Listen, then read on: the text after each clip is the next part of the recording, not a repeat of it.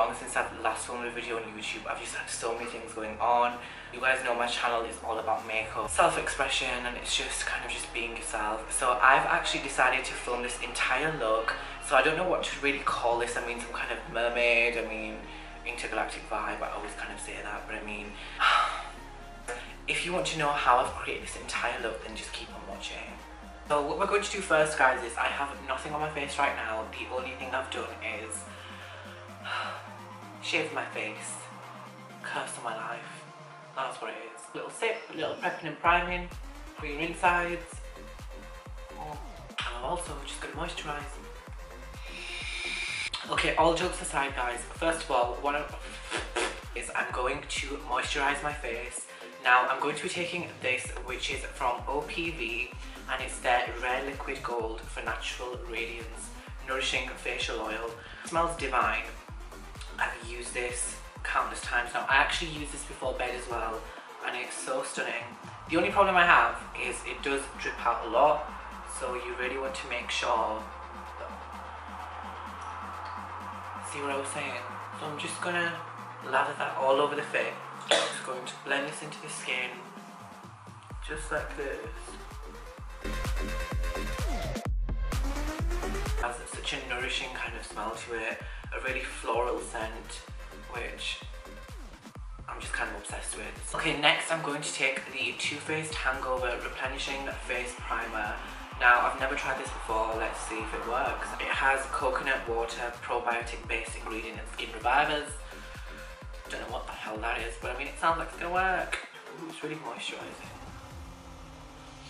Oh, ooh, wow, it smells like coconut. Ooh. Now I might actually get the full size product of this, I mean, cute. Okay guys, what I'm also gonna do is I'm just going to put my lenses in um, just because I can't see anything. Okay, so lenses are in. You've probably seen my previous tutorials where I'm always using corrector. I'm actually investing in some laser hair removal soon. I know it's so emotional guys, isn't it? I've been shaving for so many years of my life. Finally, I'm getting some laser. Okay, so we're going to take the NYX Correcting Orange. Now, I've been using this for a really long time.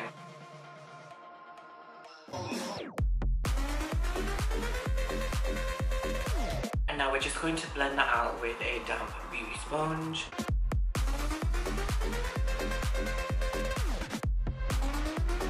Now when you are actually blending all of this out, you want to make sure it's really seamless. You don't want the orange to kind of mix in with your foundation. It gives you, you don't look orange, do you? So, okay, moving on to foundation. So I've recently purchased the LA Girl Pro Coverage High Definition Illuminating Foundation. I feel like it's not really a high-end foundation. It kind of, you know, I would say it's a drugstore foundation. Um, I have the shade Warm Beige.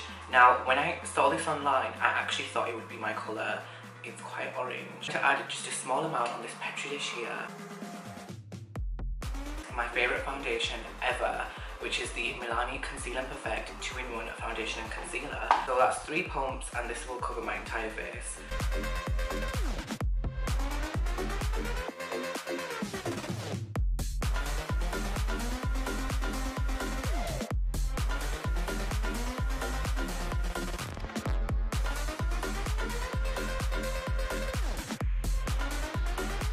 Okay guys, foundation is on.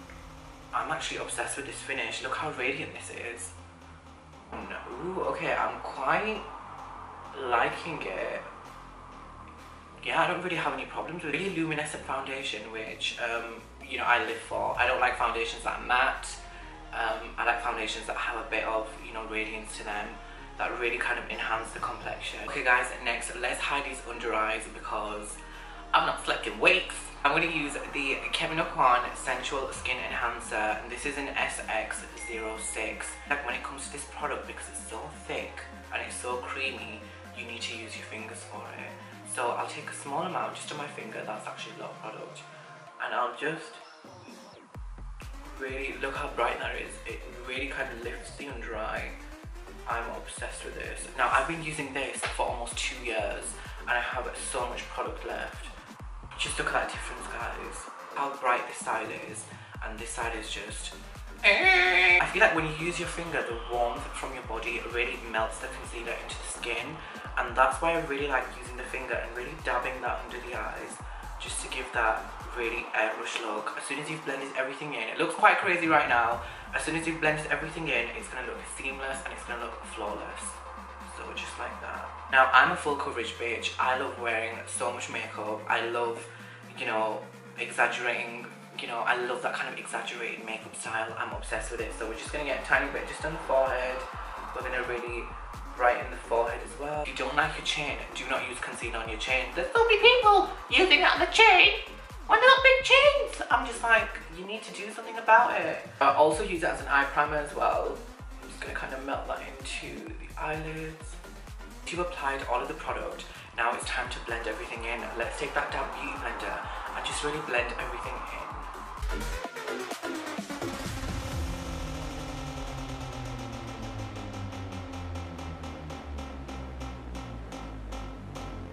Now it's time to give some definition to my face. I have recently been obsessed with the Revolution Conceal and Define Full Coverage Foundation. Now it is a cream product so I use it to kind of contour my face. I don't use it as a foundation. Now this is in the shade F13.5. Product itself, the formula is amazing um, the smell smells really nice.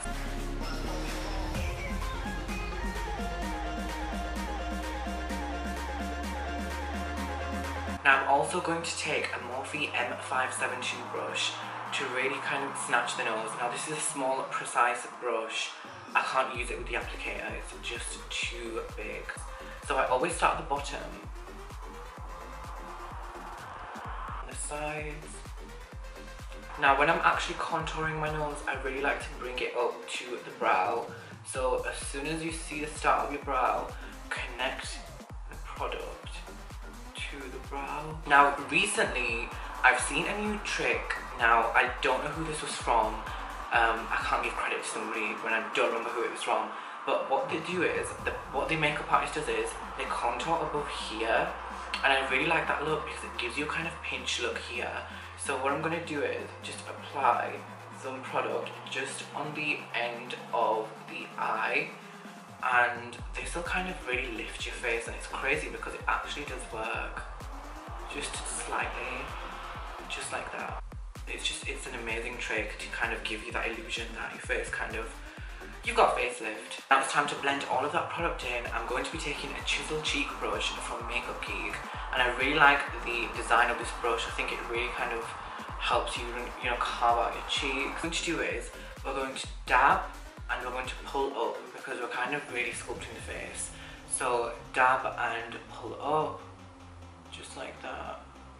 It's really going to give the illusion that you've got cheekbones. I mean, I've had filler injected in my cheeks, but it wasn't enough. So you've got to really sculpt your face using cream products. And you're just to do the same thing. And now when you go to the forehead really blend that into the hairline as well. Just like that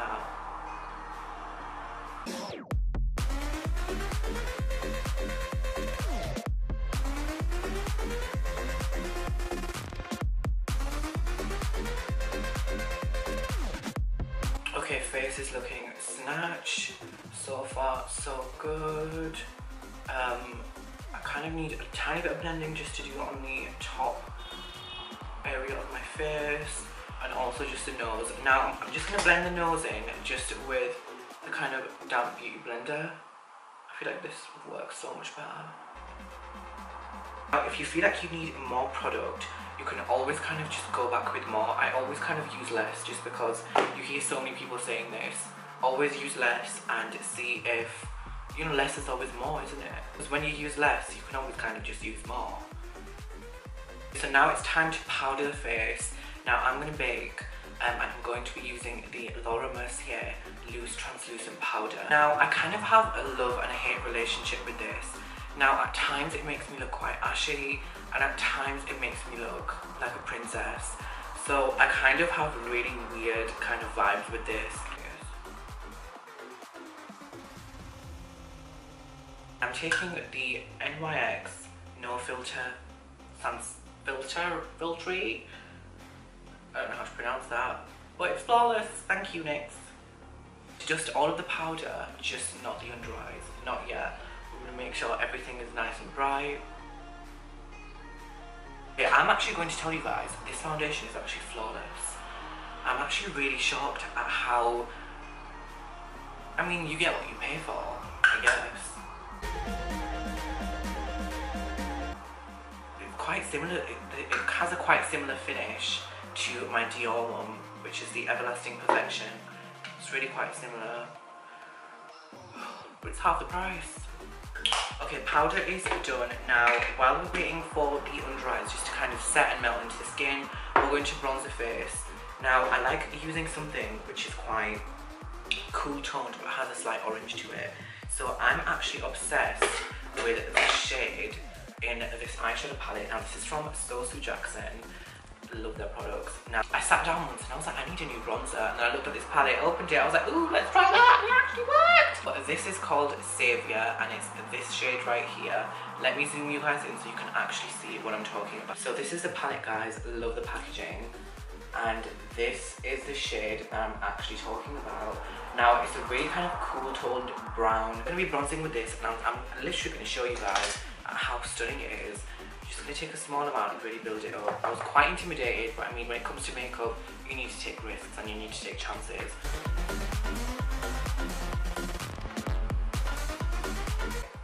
Skin looks really healthy and it just looks really natural. There's times where I want like an extreme contour look, but I mean today, we're going for something subtle because the eyes are going to be so dramatic. Now I'm just going to take the ABH Dip Brow Pomade in chocolate um, and I'm just going to kind of fill the brows in with this. Now, I'm not too fussy when it comes to brows. A lot of people are actually really fussy. For me personally, I don't take that long doing them.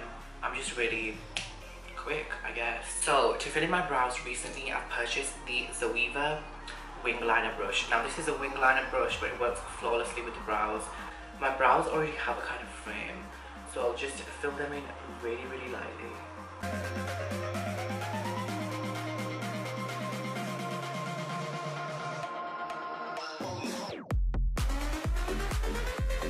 Guys and that is my eyebrows done. So it doesn't really take me that long. I quite like my eyebrows to look not too thick and not too thin something kind of in between a bit like my gender.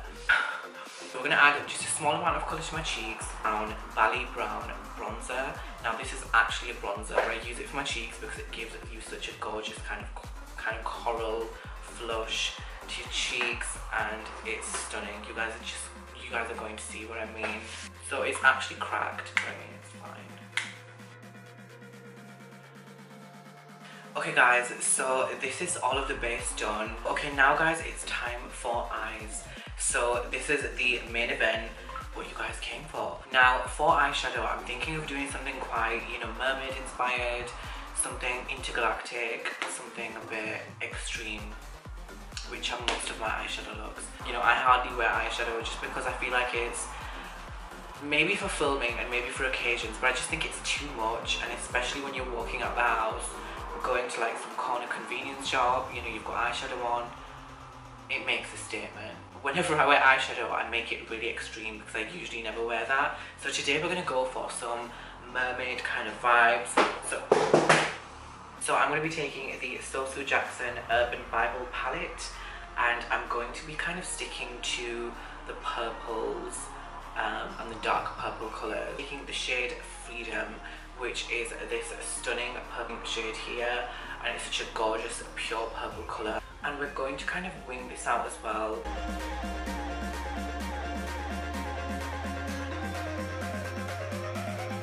And we're really just kind of winging that out just like this. Now this kind of part does not need to be really neat because we're kind of going to go over the lid with a neon pigment which is a purple pigment so this part just kind of needs to be, you know, you're just kind of setting the grounds for before you apply everything else. Small kind of wing as well. Just dragging that out, just like this.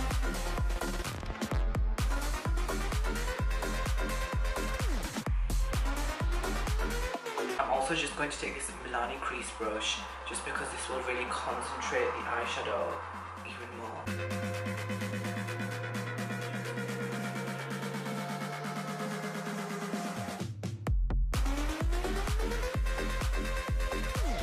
Now that the crease is nicely blended, I'm quite impressed with this finish. So I'm going to be using a neon pigment. Now this is from a brand called Helen E Cosmetics. Now this is on Instagram. Now their pigments, I was obsessed with them. So they're called neon pigments and this is in the shade Orchid. Okay, so this neon pigment I'm going to apply all over the lid.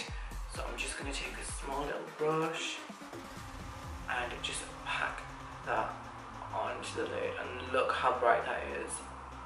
Oh, this is stunning.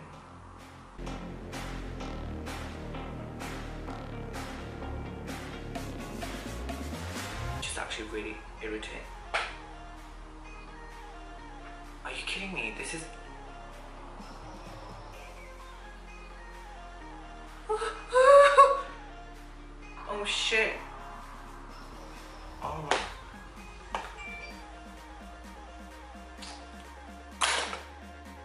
Now I know why people do the eyeshadow before they do the fucking face.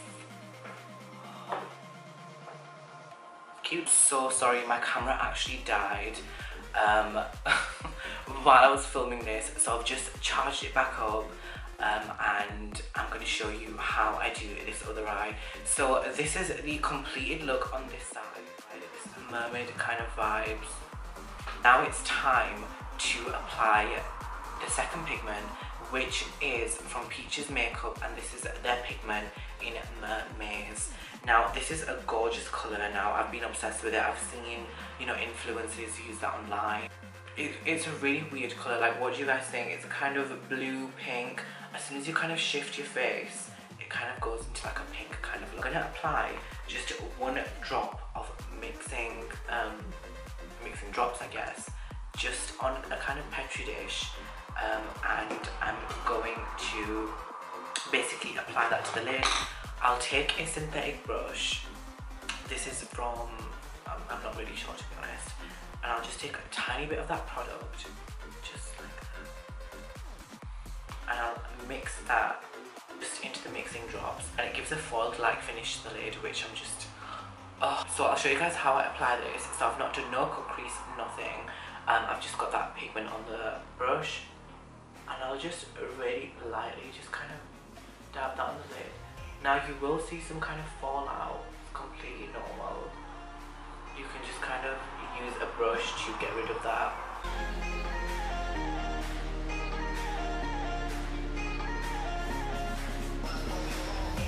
Okay guys, so we've applied the pigment while it's wet. We're also going to apply the pigment while it's dry as well. So I'm just going to dab a tiny bit of that pigment and just apply that to the lid and this will add so much more kind of coverage.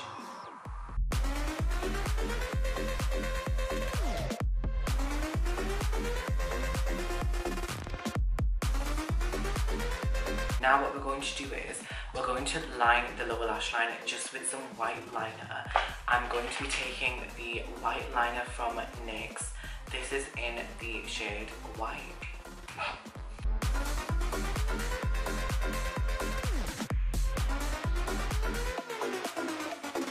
Guys, time for mascara. I'm going to be taking the Benefit Bad Girl Mascara. Now, this is a flawless mascara. It gives you really long eyelashes, which, you know, I'm kind of living for. So I'll show you guys what this looks like.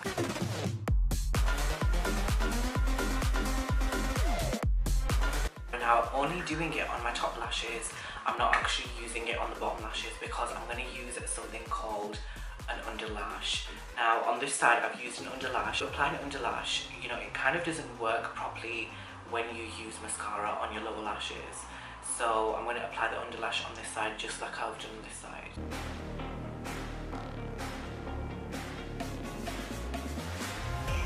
Kind of just set my face. Now the only thing I have is makeup brush. The only thing I have to set my face is makeup brush cleanser. So I'm going to use a tiny bit of this just to set my face because I don't have any setting spray. And that is the finished look. I hope you guys enjoyed this look. So I do apologise about my camera actually dying out. Um, but I mean, this is the finished look. What do you guys think?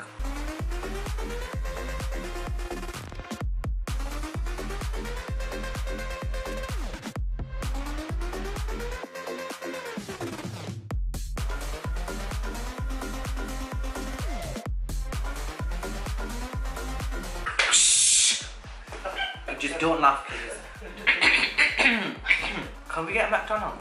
Yeah, go on. Video outro and we'll get McDonald's. Okay, now, man. Do. Then how did my nose control look? Okay. I'm back. My camera actually died. So what I've got. So I like shh, kind of just set my face. Now the only thing I have is makeup brush. The only thing I have to set my face is makeup brush cleanser. So I'm gonna use a tiny bit of this just to set my face because I don't have any setting spray.